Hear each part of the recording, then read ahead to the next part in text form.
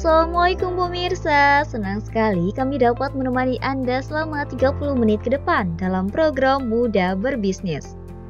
Program yang menghadirkan sosok kaum muda yang tangguh, mandiri, kreatif, dinamis, dan senang berinovasi dalam merintis bisnis.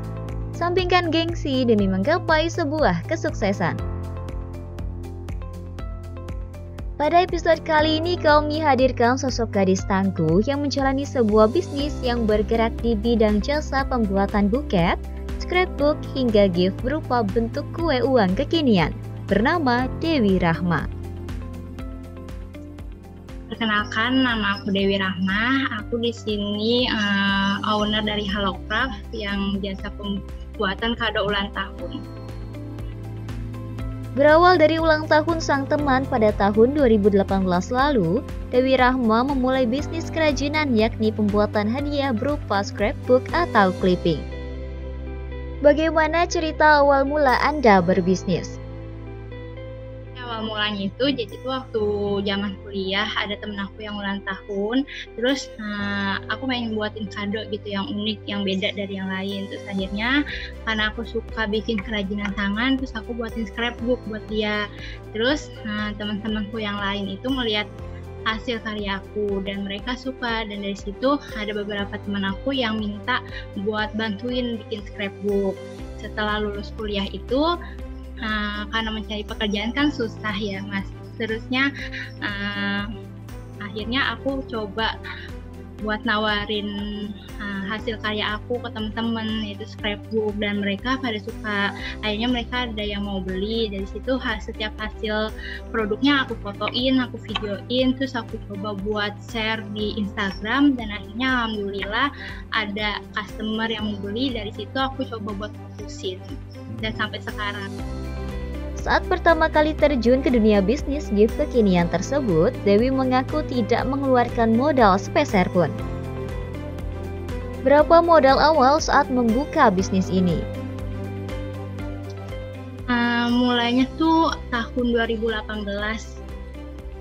dari tahun 2018 terus modalnya tuh karena dulu kan belum ada modal ya. Jadi itu uh, sistemnya aku tuh proses pembayaran dulu baru uh, melakukan uh, proses pembuatan. Jadi pembayarannya itu aku buat uh, modal beli bahan-bahan scrapbooknya. Nah kalau sekarang karena udah mulai banyak yang order jadi aku mulai stok bahan-bahannya di rumah. Iya, PO sampai sekarang juga PO. Cuman karena orderan udah banyak, jadi udah ada modalnya, jadi aku stok bahan-bahannya di rumah. Kalau dulu awal-awal tuh karena belum ada modal, jadi modalnya tuh dari pembayaran tersebut. Setengahnya aku beliin bahan-bahan scrapbook gitu.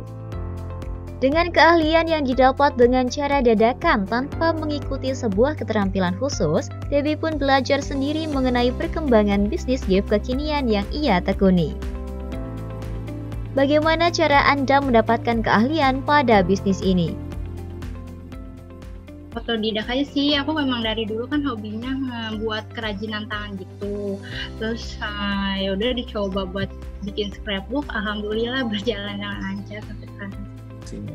Bentukannya terus dulu tuh awalnya ada cuman scrapbook doang. Terus karena um, biar ada macam model-model lain gitu biar nggak bosen aku bikin model scrapbox ada hexagon box terus sekarang juga ada money cake ada buket juga gitu mas jadi modelnya banyak sih kalau Lantas, dari mana Anda mendapatkan ide atau inspirasi membuat kreasi gift tersebut? inspirasinya lihat dari contoh-contoh di YouTube kan banyak terus uh, sekarang juga kan yang jualan kado custom kayak gini udah banyak jadi aku terus inovasi lagi model-modelnya yang baru. Ya ini kalau ini money cake kalau ini juga money cake cuman uh, uangnya yang bisa ditarik gitu loh. Nah, nanti ini bisa ditarik. Oh, oke, okay. tuh, yang yang yang lagi musim sekarang itu ya? Ya lagi banyak yang order tuh model yang kayak gini. Mungkin karena lebih unik kan ya udah pada bosen gitu kalau ulang tahun kasihnya kue ulang tahun. Nah kan kalau kayak gini kan modelnya ada uangnya kayak gitu money cake. Jadi mungkin mereka lebih apa ya lebih lebih unik gitu. Berapa lama proses Anda membuat gift kekinian tersebut? Hmm, resikonya sih sampai sekarang nggak ada ya, cuman ya udah kayak proses pembuatan 3 sampai 4 hari terus aku buat scrapboxnya atau money cake kayak gini paling sih kesusahannya cuman kalau misalnya customer kayak minta buru-buru kayak gitu. Karena kan udah dikasih tahu sebelumnya proses pembuatan 3 sampai hari. Kadang customer suka ada yang minta kak kok lama banget sih? Kayak gitu-gitu aja sih. Kalau yang money cake ini aku bilang ke customernya proses pembuatan 3 sampai 4 hari. Karena kan ada orderan-orderan sebelumnya gitu. Tapi sebenarnya sih ngerjainnya satu hari pun juga bisa selesai.